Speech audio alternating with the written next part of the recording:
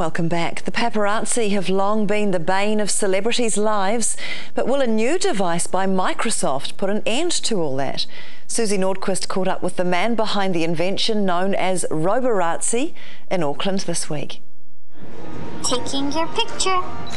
Meet Roborazzi, an automated party robot who has taken the meaning of being papped to a whole new level instead of having uh, friends or families over during a party, have them take photos of the party. Why don't you have a robot to take pictures for you? Roborazzi is the brainchild of a group of Microsoft developers in the US. It travels the room on motorised wheels, taking photographs and uploading them to Flickr.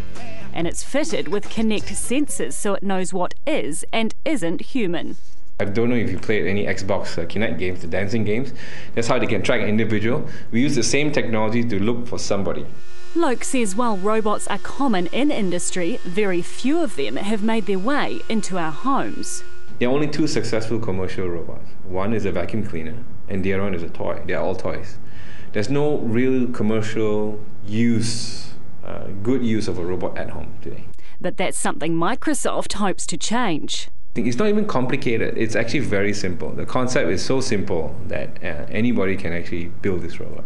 Microsoft says it's not in the business of selling robots, but is trying to encourage the development of them for consumer applications in the home.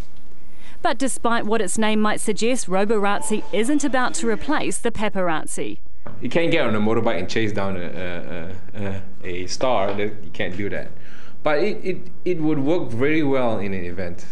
And of course, some celebrities don't need to be chased. Susie Nordquist, 3 News.